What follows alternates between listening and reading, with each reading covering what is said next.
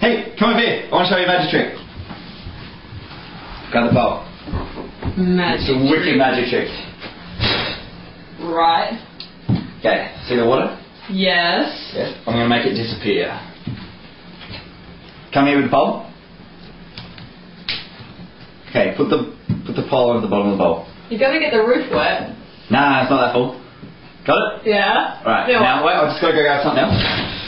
Now what? Yeah, right. James! Get the hell back here! James!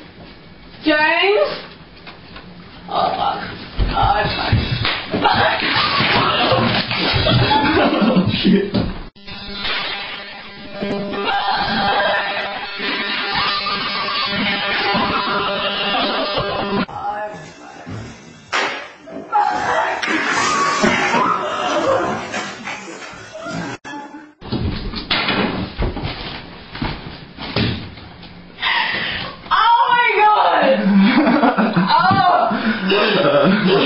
Oh! You are so dead! Fuck my foot!